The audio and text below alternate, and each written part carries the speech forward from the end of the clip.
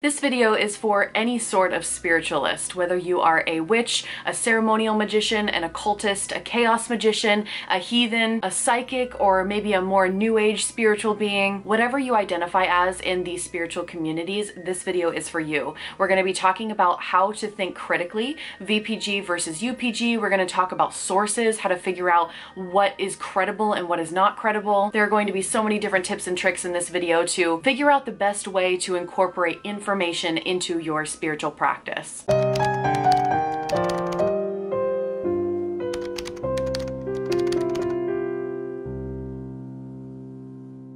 I would like to start this conversation out by discussing how there is a bit of a problem in our community, in the occult and spiritual communities. Being able to think critically is really, really difficult in spiritual spaces, and I want to kind of go over some of the reasonings, at least the reasons why I believe this to be true. The first reason is subjectivity. Spirituality is so subjective and personal to one's own experience. Your belief, your personal experience, your faith, these are things that can't really be tested tested empirically. Another reason why critical thinking is difficult in these spaces is because of emotional attachment. People often have really strong emotional attachments to what they believe on a spiritual and energetic level, and it can be really difficult to remain objective and to even feel comfortable questioning your own beliefs. It's really difficult when you are so emotionally tied to something that is deeply important to you. And really with all types of spirituality, there is just a lack of empirical evidence. A lot of the concepts that we talk about cannot really be thoroughly examined through either scientific or rational methods. And so this can deter critical thinking. There's also this ambiguity and a little bit of a mystery element when we're talking about spirituality. And sometimes we put our faith in things unknown because it makes our faith stronger. We cannot prove it, we just need to believe in it. And then there is also groupthink and confirmation bias when we have multiple people saying the same things or believing the same things. They can convince others to think the way that they are thinking thinking is fact. Confirmation bias can be really, really strong and, and you might eventually find yourself in an echo chamber where everybody thinks and feels the exact same way as you do, but it doesn't necessarily mean it's fact. And then things can get sticky and tricky because of historical context or cultural context. Traditions can carry centuries of heritage and tradition, families passing down a tradition to each new generation. And so it makes it really difficult to challenge or critique those beliefs and practices because it's part of someone's culture. And of a similar mindset, there is this personal significance that spirituality can hold for some individuals. Spiritual beliefs can be so personal that trying to challenge someone else's beliefs can really feel like an attack on them, on their culture,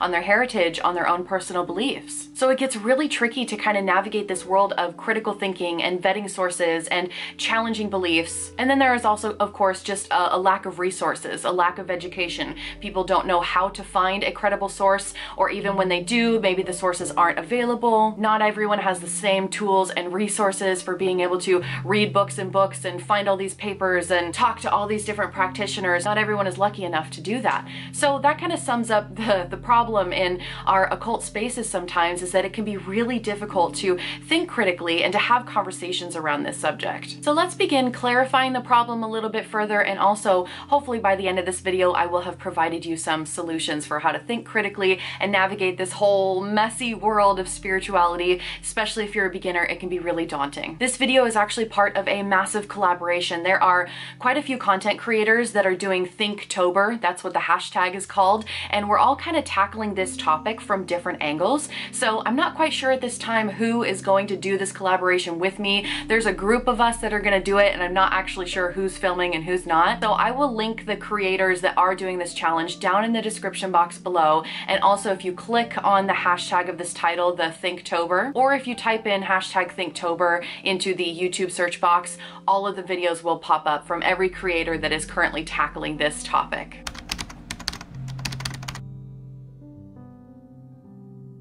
The first thing that we need to discuss is VPG versus UPG. This is something that I'm going to refer to a lot throughout the rest of the video, so I want to get a couple definitions out of the way, just in case if you may not be familiar with what that is. So VPG is Verified Personal Gnosis. This refers to spiritual beliefs, spiritual experiences, or insights that seem to be validated by the spiritual community. So these spiritual beliefs can align with maybe a specific tradition a specific school of thought, a specific practice or belief system from a particular region. And verified personal gnosis tends to be or is seen to be a little bit more reliable. I think authoritative might be a better word to describe that, but I wanted to give some examples of verified personal gnosis as well. So in the witchcraft community, we often use the moon phases as a symbolic element in our spell work or whatever we're trying to manifest. And the moon phases, the new moon being new beginnings, the bud of creation, the full moon being the climax, the pinnacle of success. We have all these correlations to different parts of the moon phase.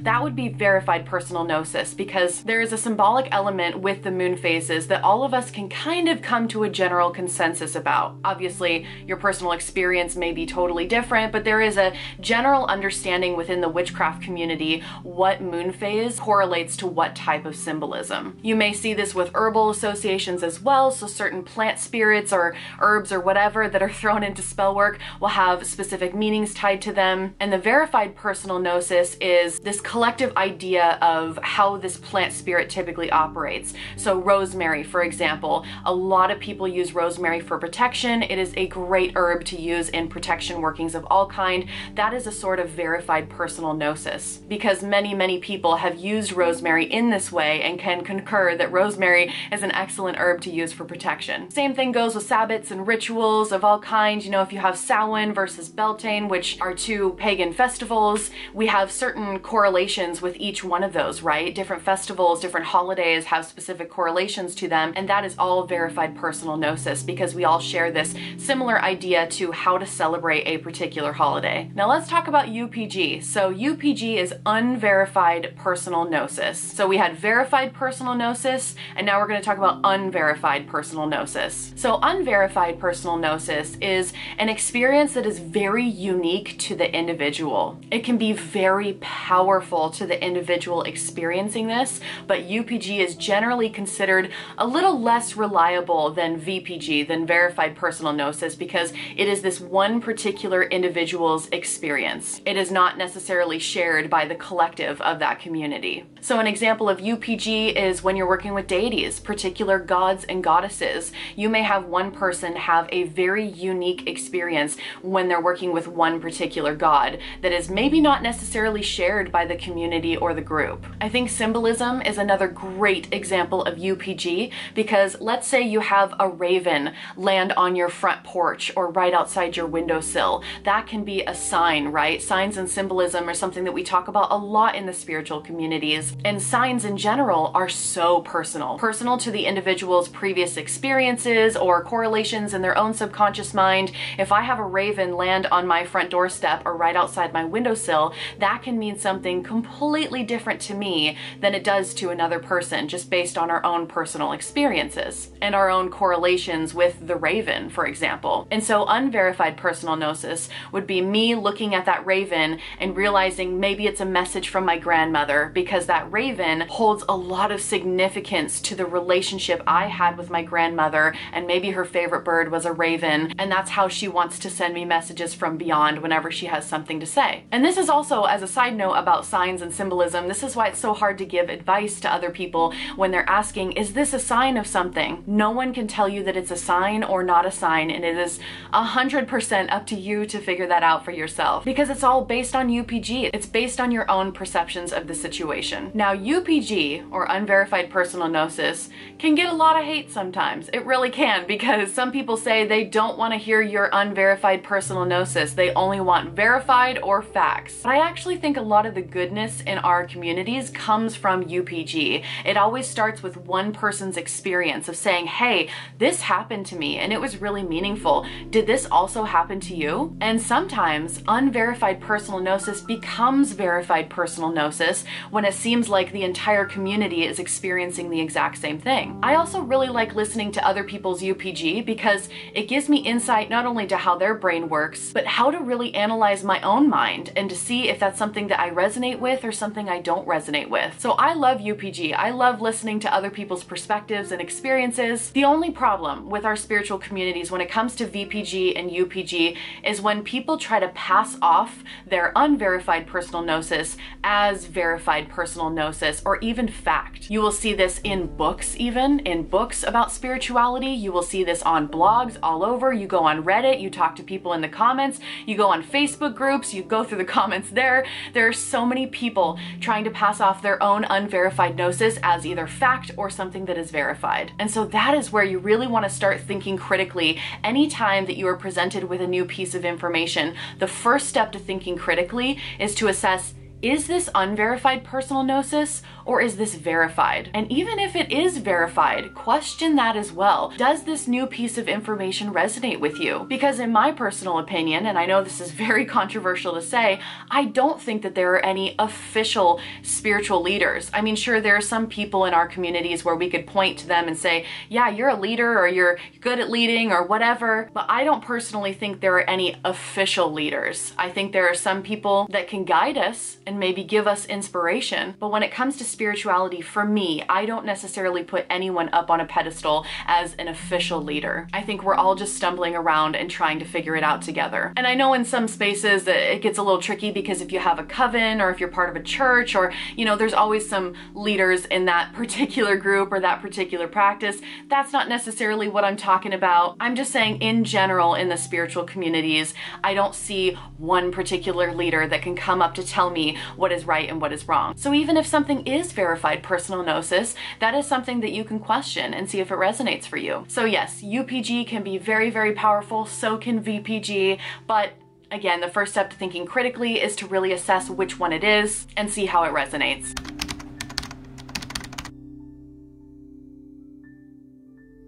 A question that I get quite a lot in the comments of my videos, and the question is, how do you figure out whether a source is credible or not? How do you vet your sources? Because again, as I stated in the beginning of this video, there is a lack of empirical evidence because it's so subjective. Spirituality is so subjective. So how can you even find good sources? And I think this is something so important for us to talk about. So I'm gonna give you a bunch of tips here for how I personally like to vet my sources. Again, please don't look at me like I'm an authority figure. I want you to question everyone, including me. Take the information that I'm saying and cross-reference it elsewhere and figure out what resonates and what doesn't. But you should never take all the words as fact. You definitely have to do the research yourself and figure out how you feel about it. So the first thing that I look at when I'm picking out a new book to read, let's say in the witchcraft community or occultism or whatever it is, or not even a book, let's say a workshop, or if I'm reading a blog post, or if I'm watching a YouTube channel, I look at the biography of that author, that content creator, that writer, you know, whatever it is, I am looking at their biography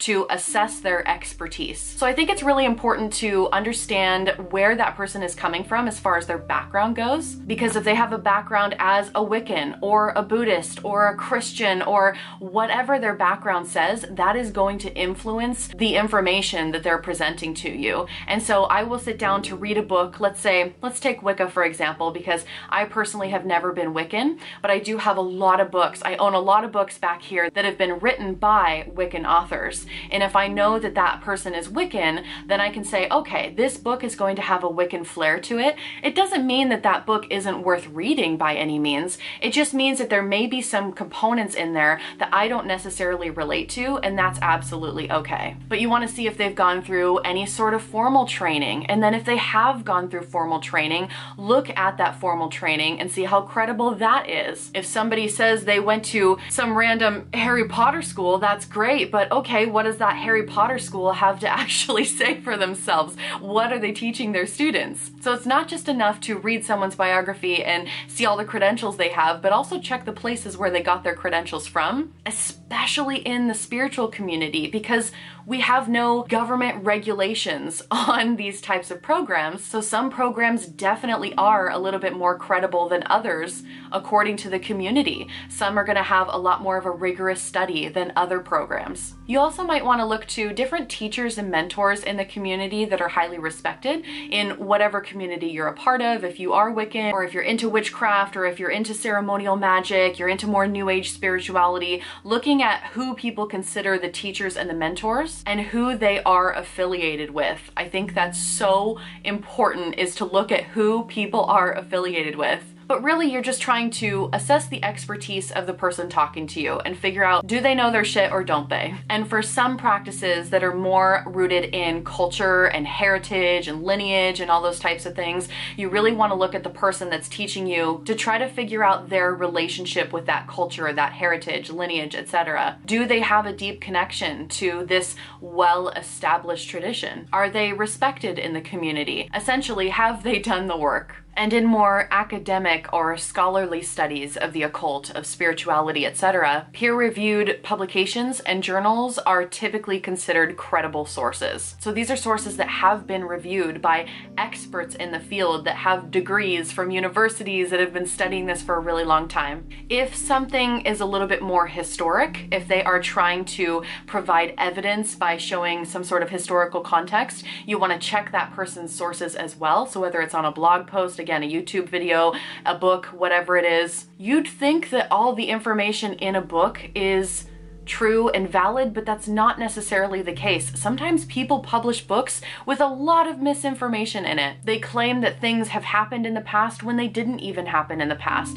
And it seems that if someone starts a sentence of, in 1872, blah, blah, blah, we assume that it's true, right? We assume that in 1872, this thing actually happened. But it's important to cross reference that information somewhere else to make sure that what the author is writing is true, which is so incredibly frustrating as a reader because because when you buy a book, you want all the information in there to be accurate or true. But I have definitely found books in the occult community where there were historical inaccuracies. And when I did cross reference that and look elsewhere, I found out that either that situation didn't happen at all or it was skewed with a personal bias or it wasn't happening during the time frame that they claimed it did. So if a book has sources, if they have, you know, a little footnotes area and they've got all the sources cited below for everything that, that they're talking about, or maybe they have sources towards the end of the book, that's a great sign. Look into those sources that they cited and see if what they're saying is actually true, and also what are those sources? Are those sources credible or not? I would advise you to be very cautious if sources rely heavily on anecdotal or unverified evidence. I think consistency reliability is another really big thing when it comes to vetting sources. If you look up an author, you can see all the other books that they've written and see if they are consistent in their teachings, if they have a lot of books about one particular subject. There was actually a recent situation that came up. I'm running a book club with my channel members right now, and when it came time to choose the book for our book club, it was really frustrating for us because we ended up finding out that one of the books that was suggested by someone happened to be a book that was generated by AI. And there's such a huge problem in the spiritual communities right now where a lot of the books being sold are AI generated. So that's why it's so important to look at the author first and see if this is someone that you want to learn information from. One of the ways that we were able to figure out whether this book is AI generated or not is because you could find no information on the author at all, anywhere. The bio was very, very vague. It was only about a paragraph long and it was very vague, had nothing to do with the author whatsoever, and there was no social media following. They had no Instagram, no Facebook, no nothing, and that's fine. Authors don't necessarily have to have that but we also couldn't find any other information anywhere about this author. There was no information about them as to who they were. And yes, there are some authors in the spiritual community that really try to hide their identity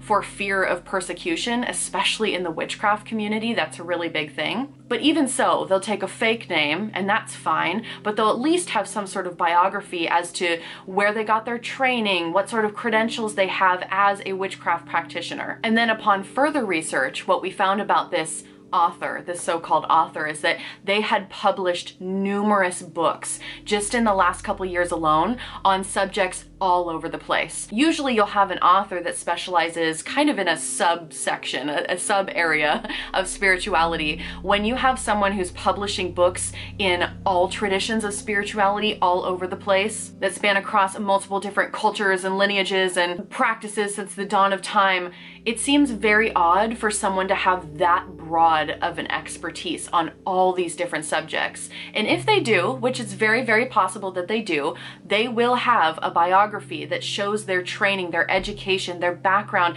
how they got all of this information in the first place. When there is an author just putting out a ton of books on a bunch of different subjects, that is absolutely a red flag because if they're not sharing how they got that information in the first place, it's probably misinformation or it's watered down or it's AI generated. Mari Silva, I am calling you out right now because Google says that you have written 18 books in the past three years. You are either an incredibly fast writer or you are not a real person. We cannot find any biography for you. In the span of these books, I mean, we have things all the way from telekinesis to astral projection to astrology to the African Orishas to Norse paganism to the pineal gland, covering hoodoo and voodoo and psychic abilities, all the way over to Santeria to Celtic spirituality to shadow work, and even a book on Enochian magic, which seems very, very unlikely. So, Mari Silva, if you are a real person, please let me know, and I applaud you for being able to cover that many subjects. I will edit this part out if you ever confirm that you are real or not. So the whole AI book situation right now, it is so beyond frustrating and we need to be critically thinking more than ever. So consistency and reliability is really important, looking at that author's past work, trying to see their track record in the community and things like that. I think transparency is another way to really vet a credible source or not because you can have a great source that has a ton of UPG in it, a ton of unverified personal gnosis, and have that source be really helpful to your magical practice as long as that author is being transparent. As long as the author is actually saying, hey, this is my own UPG. This is not verified personal gnosis. This is unverified personal gnosis. And if that's the case and they have that level of transparency, fantastic. You can still use that information in your magical practice if it resonates with you. But the lack of transparency, that is a problem. Again, where they're trying to pass off this unverified personal gnosis as fact. Another way to vet a source is to kind of check the tone of that author or content creator, etc. Credible sources often often encourage you to take what resonates and leave the rest. They tell you to question everything, to challenge everything. They present this information to you and you can take it or leave it. If that author or content creator or blog writer or whatever, if they're pushing something to you and they're demanding your blind faith in that subject, that is a red flag. Unquestioning acceptance is not okay, in my opinion. And again, just to kind of reiterate what I've already said, there isn't really any government regulations on trainings, on, you know, people can write a book and publish whatever they want, especially when it comes to self-publishing or independent publishing. People can write whatever they want in books. And I think some people have the idea that if you pick up a book, whatever is in that book is fact, and that's not necessarily true. You can also look at the publishers as well. There's publishing houses that are really respected in the community. And so if an author is working with that particular publisher, you might be able to see that book as a little bit more credible than somebody who's maybe potentially working with someone else. Again, Again, you still want to like fact check though, and you still want to look into the author's bio and all of that stuff. So I hope that helps you analyze some of these sources a little bit better and figure out which ones are credible to you and which ones are not.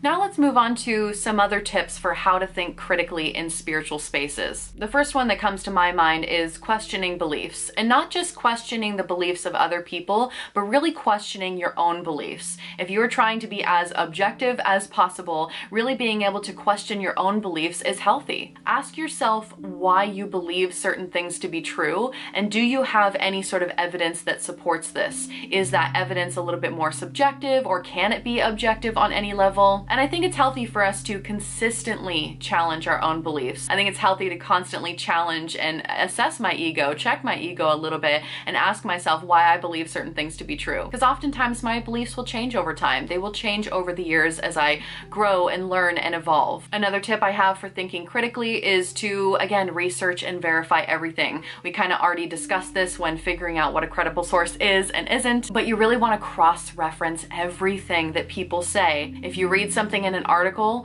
do a little bit of research to see if someone else is saying the same things. Does it come off with the same tone or do these people have personal biases when they're writing this information? If someone says something in the spiritual community to you on a Facebook post, in a Facebook group, or on Reddit, or some other social media platform, if they say something to you that sounds like fact, question them on that a little bit. And it doesn't have to be rude, it doesn't have to instigate a fight or whatever, but I think it's important for us to have discussions so that we can better understand someone else else's perspective. So if somebody is stating something as fact, ask them where this information comes from and see what sort of evidence they can provide to back up their claim. And if they don't have evidence to back up their claim, maybe it is more based on personal gnosis, and that's just as valid. That's fine. Personal gnosis is great. But you definitely want to know if that information is personal gnosis versus them trying to pass it off as some sort of fact when it's not. Another thing I would advise people of is to be cautious of pseudoscience. I, I am a science lover. Don't get me wrong, people that have been on my channel for a while, you know how much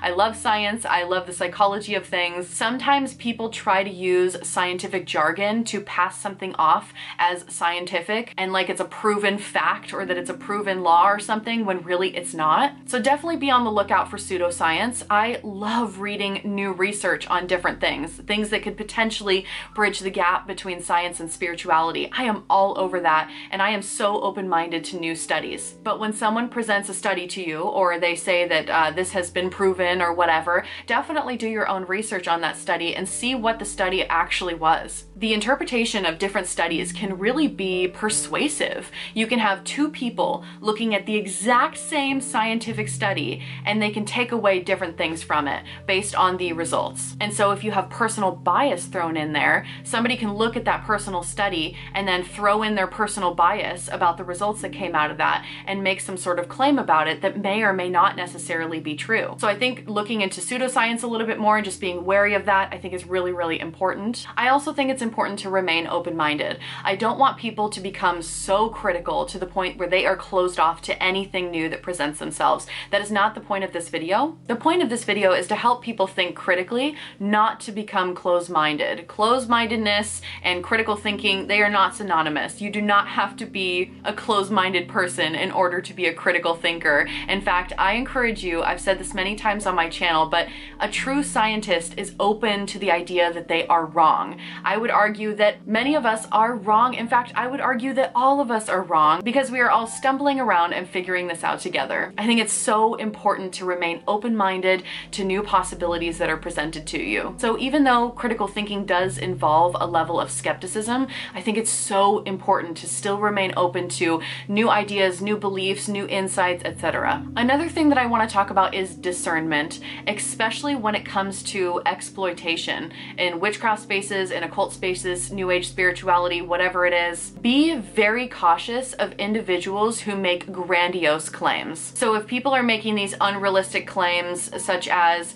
take my course or my seminar and I promise I will change your life within three days. You know, you've ever, have you ever heard those claims before where they promise to radically change your life within a very short period of time and all you need to do is pay for their course, their book, their seminar, whatever it is. I think it's really important to pay attention to exploitation, especially in spiritual circles, because you have people that are trying to pass themselves off as spiritual leaders when really they're just trying to take your money and run or to feed you some bullshit and have you fall into it and put them up on a pedestal as some sort of god. There are many people in the spiritual community that have tried to do that over the past few centuries at least. So be very weary of people that are false idols, false gods, people that are trying to sell you stuff. There is absolutely nothing wrong with a spiritual person trying to make that their livelihood, an author writing a book and then selling it for money so that they can continue to write and to be reimbursed for their time and their effort.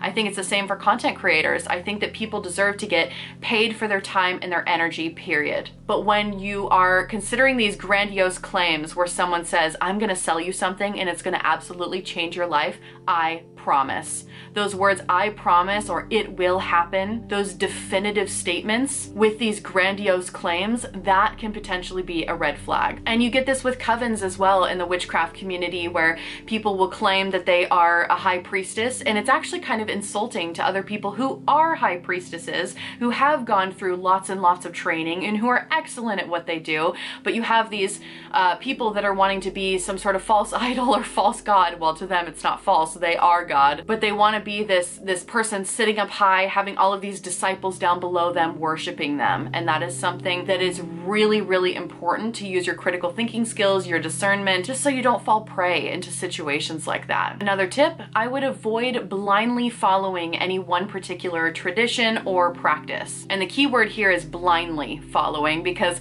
it's absolutely okay to just stick with one tradition or practice. But really when you're blindly following something, you're not questioning anything, You're not using critical thinking skills to really determine if this is something that even resonates with you in the first place. In the witchcraft community, especially, the, the witchcraft community is so diverse. There's so many different paths that one can take. And critical thinking really allows you to try out those different paths, to experiment, and to really fine tune what it is that works for you specifically. I encourage you to experiment with lots and lots of different things, lots of traditions, lots of beliefs, lots of techniques, and that way you can really find something that deeply resonates. Another tip that uh, I have basically said throughout this entire video is to question authority. You definitely want to question authority, question leadership. If someone tells you something, don't immediately take it as fact. Really look into that person and see, do I value this person as a mentor or a teacher? But the important part is to question these people, including me. Question me, don't take everything I say as fact. You need to evaluate their expertise, the information that they're giving you, etc., etc. And the last tip that I really wanted to say here for critical thinking is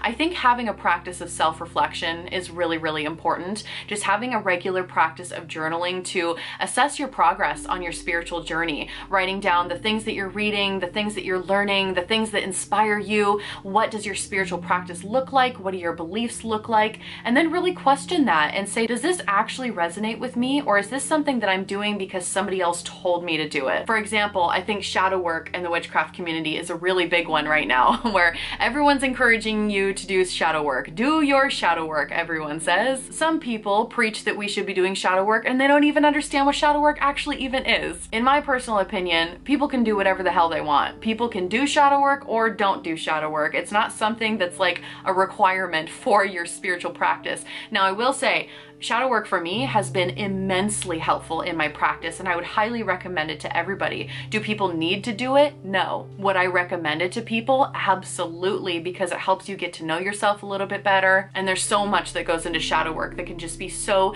instrumental for introspection and so many other things. So yes, I think shadow work is important, but I but I hear a lot of people sitting down attempting to do shadow work and it's not even something that they want to do and they're like, do I even have to do this? So really sitting down and assessing saying are you doing these things because you want to and because it resonates with you, or are you doing these things because other people told you that that's what you have to do? Because you don't have to do anything. This is your own spiritual practice and you get to make your own decisions. Yes, just to reiterate, I do think shadow work is important, but all I'm trying to say is that there are no hard rules, there are no regulations. You get to assess what works for you and what doesn't. And that is all I had for you on the topic of critical thinking today. If there is anything that I missed, please feel free to comment it in the comments box below. I'd love to get a little thread going of different ways that people can practice critical thinking. I think that's going to be so, so important for our community. So please feel free to put your opinions in the comment box below. And again, don't forget to check out the other creators that are doing this Thinktober hashtag because they are, I'm actually not sure quite what other people are doing. I've heard their ideas, but I'm not 100% sure, so I'll be watching those videos as well. I'm really excited to see them, but I'm really happy that a lot of us in the, the witchcraft community specifically are really tackling this Thinktober project and really trying to tackle this subject from all different angles. So definitely go check out those other videos. Thank you so much for watching. I will see you all in another video soon.